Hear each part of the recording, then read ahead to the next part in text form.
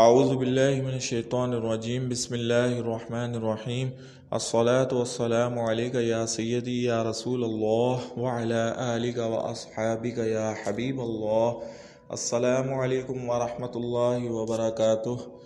سامعین کرام، اگر رزق کی تنگی کا مسئلہ ہے اور رزق کے معاملے میں آپ پریشان ہیں، رزق کی کمی کا سامنا ہے، رزق یعنی کہ جتنے بھی روپے پیسے آپ کما رہے ہیں، اس سے آپ کی گزر بسر نہیں ہو رہی۔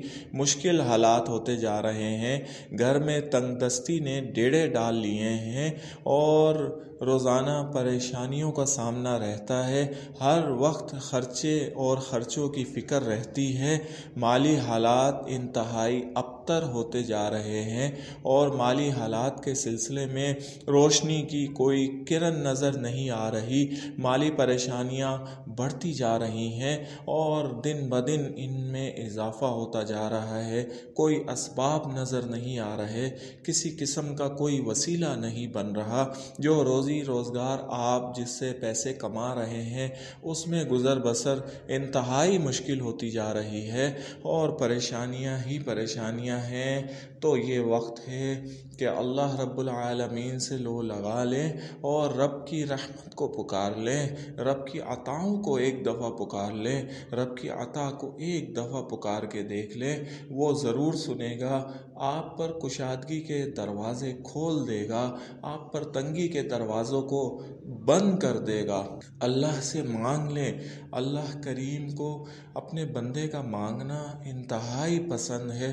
وہ ہر وقت ہمیں دیکھ رہا ہے کہ ہم کس وقت اس سے التجائے کریں کس وقت اس سے مانگیں اور وہ ہمیں نوازے اور وہ ہمیں عطائے، عطا پہ عطا کرے، ہماری تنگ دستی کو بھی دور کر دے، رزق کی کمی کو بھی دور کر دے اور ہمارے مالی حالات کو حیران کن حد تک ٹھیک کر دے اور کشادگی ہی کشادگی ہمارے گھر میں ہو۔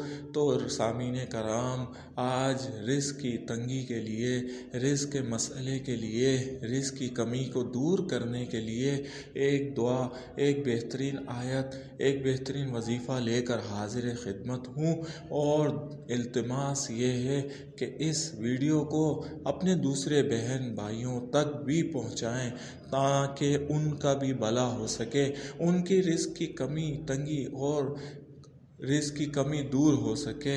انشاءاللہ اس کے توسط سے آپ کے راہ کے کانٹے بھی ختم ہو جائیں گے۔ آپ پر بھی اللہ کی رحمتیں نازل ہوں گی۔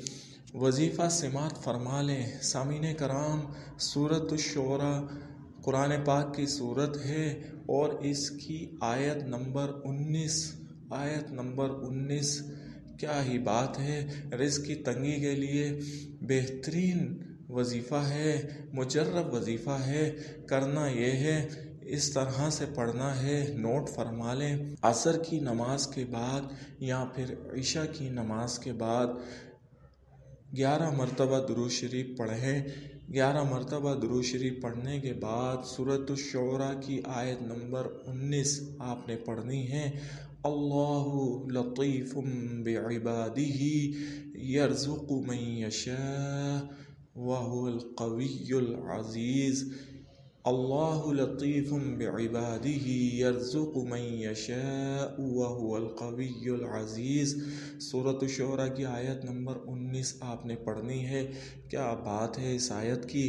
ترجمہ سماعت فرمائیں، اللہ اپنے بندوں پر بڑا مہربان ہے، جسے جس قدر چاہتا ہے روزی دیتا ہے اور اور وہ بڑا طاقتور، زبردست ہے۔ سبحان اللہ، کیا معنی ہیں اور کیا عمل ہے اس آیت کا؟ آپ کو رزق کی تنگی سے نجات دلائے گا یہ وظیفہ۔ آپ نے سات مرتبہ درو شریف پڑھنا ہے اور ایک سو ایک مرتبہ اس آیت کو پڑھنا ہے اور پھر دیکھیں پھر سات مرتبہ درود پڑھیں اور پھر اللہ سے اپنی دعا کریں۔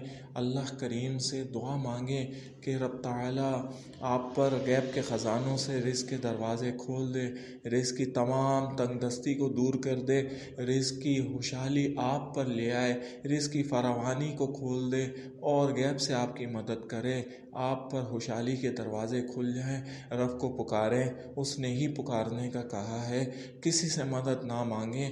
حالات جیسے بھی ہوں، کیسے بھی ہوں، صرف اللہ کی رسی کو مضبوطی سے پکڑیں، صرف اس کو پکارتے رہیں، نماز کی پابندی کریں اور اکیس دن اور یا اس سے زیادہ جب تک آپ پر رزق کی خوشحالی نہیں آتی، تنگی دور نہیں ہوتی، اس وظیفے کو جاری و ساری رکھیں، پڑھتے رہیں، عصر کے بعد پڑھیں عشاء کے بعد پڑھیں، بس اس آیت کا دامن پکڑ لیں۔ اللہ کریم ہے، وہ رحیم بھی ہے، رازق بھی ہے، مولا بھی ہے۔ اسی سے مانگنا ہے، کسی سے نہیں مانگنا۔ اور پھر دیکھیں کہ کس طرح آپ پر اپنی رحمتوں کے دروازے کھولتا ہے۔